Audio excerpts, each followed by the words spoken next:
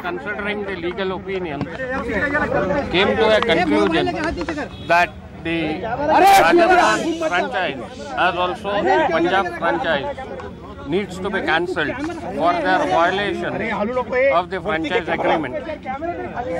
The governing council further decided that we would issue a notice to Kochi franchisee and ask them to incorporate a company and resolve their disputes within a period of 10 days, telling which that franchise would also be cancelled. So, so but why, why has Kochi been given more time and why have you decided to cancel Because, because Kochi hasn't breached the agreement as yet. The, there are only internal disputes as far as the Kochi franchise is concerned. So these were the two teams, Rajasthan and uh, you know Kings Eleven, that were where uh, Mr. Modi was accused of having proxy stakes. Is that one of the reasons no, no, why? no, no. We never considered that. It is purely based on legal opinion which we received, and after looking to the facts and the breaches committed by these two franchisees, we decided to cancel. Said, टीमों है sir बताइए इन दोनों team को आपने terminate क्यों किया sir क्योंकि दोनों टीमों ने जो एग्रीमेंट था फ्रेंचाइज एग्रीमेंट उसको उसकी जो प्रोविजंस थी उनका ब्रीच किया था इसलिए बोर्ड ने डिसीज़न लिया कि इनको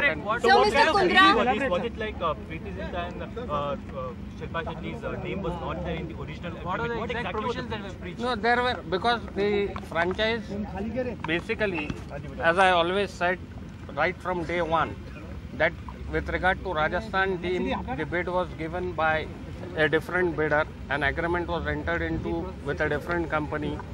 The shareholding pattern was different. The shares were transferred thereafter to different people without the permission of the governing council. Sir आपको लगता है कि Sir, ललित मोदी का डायरेक्ट they या reply to your indirectly notice, से. कनेक्शन दोनों टीम में था उसको लेकर नहीं नहीं उसका कोई संबंध नहीं है क्योंकि बोर्ड बोर्ड किसी आदमी के वजह से कोई निर्णय नहीं लेता so है Mr. Kundra has talked about uh, taking this battle to the courts. Uh, is that That is something his that? choice. That is his choice. But what?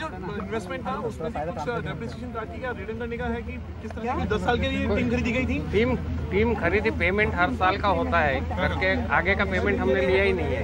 So what is sir अभी कुछ नई team reply 10 10 10 10 10 10 10 10 10 10 10 10 10 10 10 10 10 10 10 10 10 10 10 10 10 10 10 10 10 10 10 10 10 10 10 10 10 10 10 10 10 10 10 10 10 10 10 10 10 10 10 10 10 10 10 10 10 10 10 10 10 and therefore we have no issues with regard to the IPL brand. So what is what, what, what have you decided about Kochi? What have you decided about Kochi? That's what I have said earlier. I don't ask the same question again and again. So, so what is Inter ke koi stakes have been terminated. What is the next step and automatically involved About what?